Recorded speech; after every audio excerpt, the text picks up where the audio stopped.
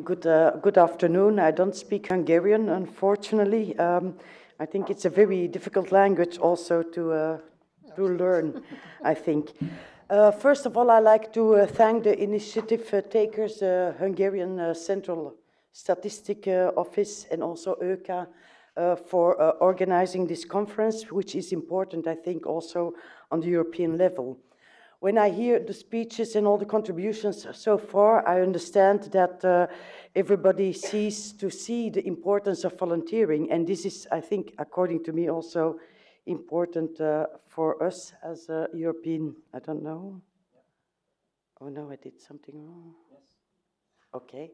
As a European uh, Volunteer Center, because what we um, did since 20 years ago is that we gathered all uh, European volunteer centers in national uh, European Union member countries to come together, but also to help uh, organizations and NGOs to build uh, volunteering in their own country.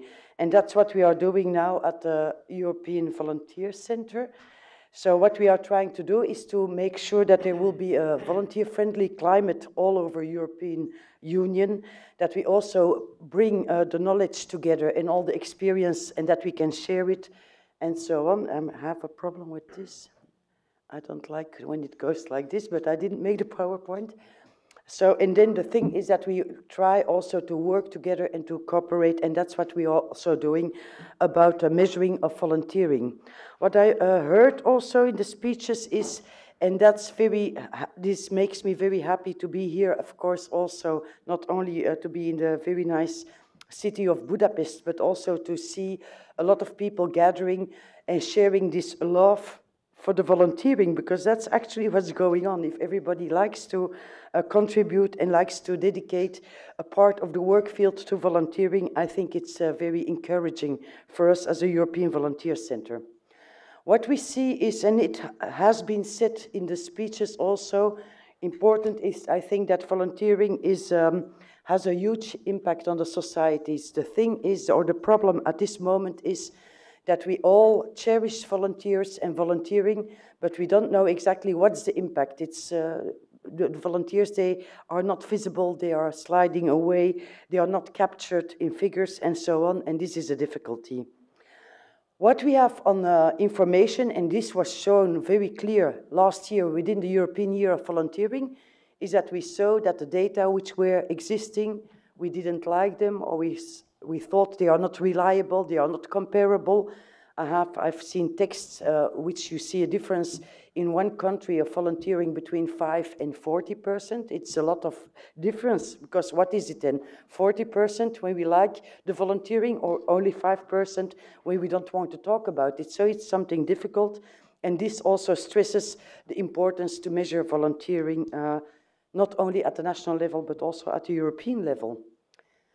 The thing is that what, uh, because we don't have the facts and we don't have the figures, it's difficult to convince policymakers to take volunteering uh, as a ser serious subject, a se serious uh, object to make policy. Also, when we lack the data, it's very difficult to make a facts-based uh, policy and to make sure what do we need to develop uh, volunteering further, how can we support volunteer centers, volunteer infrastructure, and so on.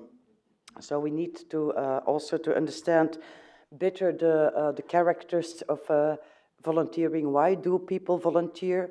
Is it only the people which are a bit vulnerable, which are getting only the competences with volunteering, or is everybody also the employed force? And I think it's both of them and it was already said also stated by, by you, um, that everybody can uh, build up competences and skills through volunteering. But what are the motivations? Why do people step into the volunteering? Why they don't? Uh, why they go out and so on? It's important to know to make sure that we can support volunteering in a very good way. And then, uh, and then I think it's also important to sh to show uh, to showcase the value of the volunteering to make sure that it keeps on the policy agenda. We were very lucky last year, 2011, to have the European Year of Volunteering in, uh, in the European Union. Also to have the opening conference in Budapest, which we uh, saw a lot of uh, intentions of policymakers to make sure that volunteering is on the political agenda, but we see now, a year later, of course, there is still uh, this uh, love for the volunteering and the passion, but it's difficult in times of economical and financial crisis to make sure that volunteering gets the support which it uh, deserves. So if you, we see to the challenges, uh, I'm going to do it like this because otherwise it's, oh no. Oh my God. Okay, that's it. So there are a lot of uh, challenges, uh, in, challenges in promoting volunteering measurement at the European Union uh, level. First of all, we have the policy, institutional and perception challenges. And this means that uh, at this moment, if you look at the European level, but I don't know how it is in Hungary, but in my country, the same goes on. Volunteering is everywhere and nowhere. So when you want to have a support for the volunteers, yeah, you can go to the Ministry of Social Affairs or you can go to the Ministry of Culture. But sometimes in the country, and that's what we see also on the European level, it's sometimes very difficult to match each other. For the European Union, they say we are only, we have the, only the competence on the cross-border uh, volunteering and on the mobility of persons and of volunteers.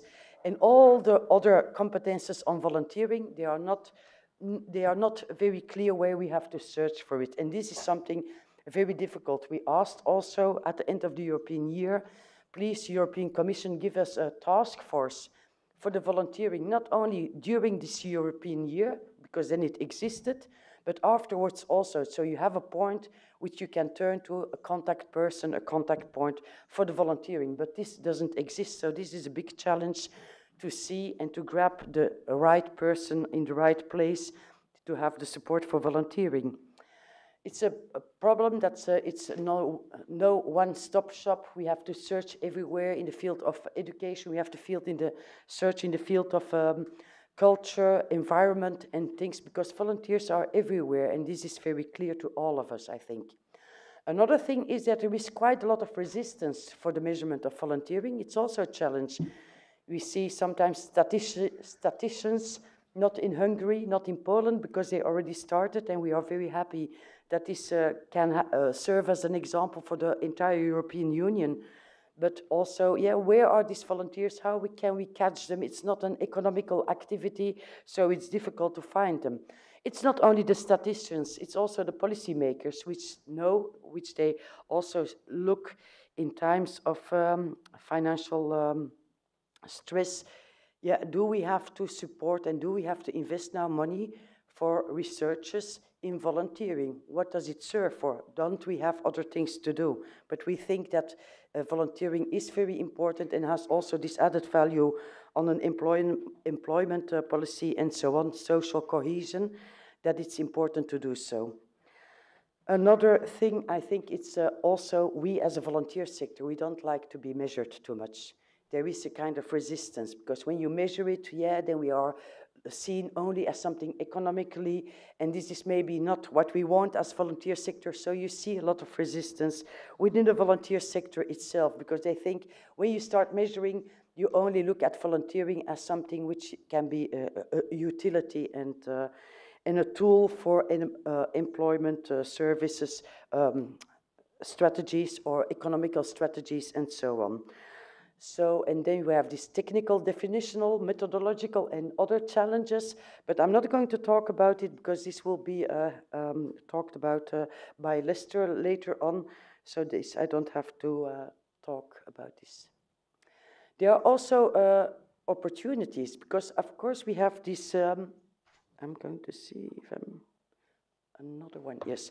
We have also uh, opportunities because there are text, European texts, which are supportive for the European Volunteer Measurement Project. We have also the tools, and uh, Lester will talk about it later also. We have the ILO handbook, which was approved and which can be implemented in every national statistic office. Uh, I'm not saying that easy, he will uh, explain it further, but can also be uh, used at a Eurostat uh, uh, level. So all the tools are there, it's only a question now to have the political will to start impl implementing it and to work on it. And that's why we also think as a European that it's important to be a partner in the project because it's a project, EVMP, European Volunteer Measurement Project, is a partnership between the Johns Hopkins University, uh, SPES Italy, and the European Volunteer Center, because we think if we can work together as European organization with all these national uh, volunteer centers everywhere in Europe about stressing the importance of the volunteering and the importance of the measuring of the measurement of the volunteering, then we can go a step a step further. And I think that Hungary gives a very good example, and this is very good. I already said it to someone that I will take it back to Belgium to say, yeah, but the Hungarians are doing it already. Why we don't do it uh, in Belgium? We have uh, a lot of uh, texts in the European year came out, the European Parliament, the Council of the European Union, the European Commission, the European Economic and Social Committee, the Alliance, and um, also the national coordinating bodies of every uh, member state of the European Union. All they said, we don't have enough uh, sufficient data, we don't have enough measurement on volunteering, so it's important if we want to have a sustainable uh, attention for volunteering, not only 2011, but the years to come, then we need to have this uh, possibility to have comparable data uh, which are gathered on volunteering to see also how fascinated, uh, fascinating it is in uh, different ways. So what we are doing now uh, with, with our um, European Volunteer Center, we are, of course, working with our partners to uh, talk about the importance of, of, this European volunteering measurement project, but, also trying to convince national member states, but also the European institutions to invest a, a certain amount of money in this to measure the volunteering. And we have uh, a good relation, I think, with the European uh, Parliament, but also with the European Commission.